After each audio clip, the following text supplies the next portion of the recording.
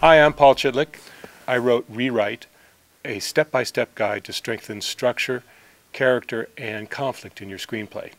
I really think movies are great. They can change your mood, they can even change the world, but they all start with the word. If you don't have 120 pages of really tight script, you don't have anything. Try giving 120 pages of blank paper to a director and see what they come up with. Probably nothing. But it's not polished after the first draft. It's not even polished after the eighth draft or the tenth draft. Sometimes screenplays go through 25 to 30 drafts before they're shot.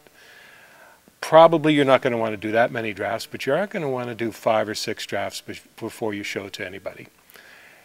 If you don't have a studio behind you, or if you don't have an agent behind you, who do you turn to for advice when you're trying to find out what's right and what's wrong with your screenplay? And that's why I wrote Rewrite, so that you can have a step-by-step guide in simple language on how to reconstruct and how to rework your screenplay. And it's no accident that I also say it's a step-by-step guide to strengthen structure, character, and conflict, because those are the three main things that you need to know. Structure is the backbone of your script, what tells you how your script is going to be formed. And character is why we really go to see movies. We want to see people. We want to see people go through changes, and we want to see people fight against all odds. That means also we need to have an antagonist in your film. And of course, conflict. Every scene has conflict, and we, we experience conflict along with the protagonist as he goes through the changes that he has to go through. Recently, in one of my rewrite workshops, a student came to me with a script that had some beautiful scenes and some terrific characters, but was lacking in structure. So what we managed to do in the course of that workshop was restructure her script so all the scenes made sense and so that they worked together to present her central character in a, in a better way and make the film much more satisfying.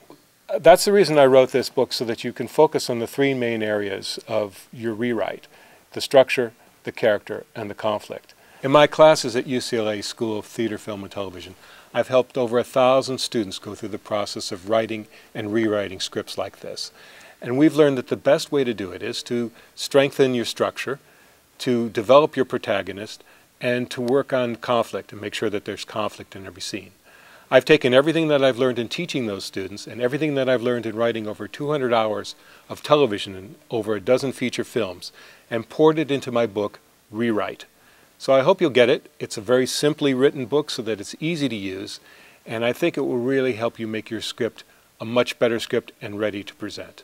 Good luck.